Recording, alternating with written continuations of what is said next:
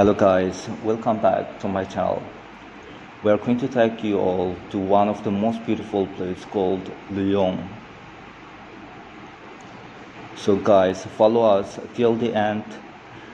And if you are new to this channel, please don't forget to subscribe to my channel and to comment. You know, Luyong village is situated under Mokokchung district of Nagaland their administrative jurisdiction falls under Mangkolemba subdivision. It is located in the Japukong range.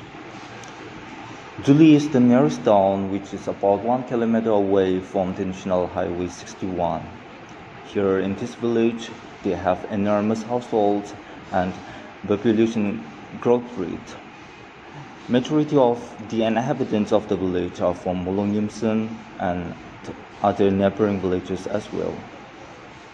The important thing is that they have fertile soil, so the villagers are mostly engaged in farming activities like agricultural farming, paddy field, tea plantation, agar plantation, and so on.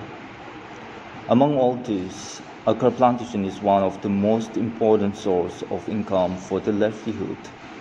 So you will find agar plants in each and every household.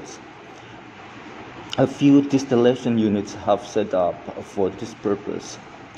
As we know that agar tree is famous for its medicinal values and it is in great demand.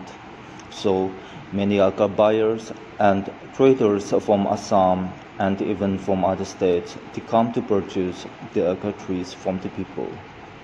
Guys, I hope you all are enjoying watching this video.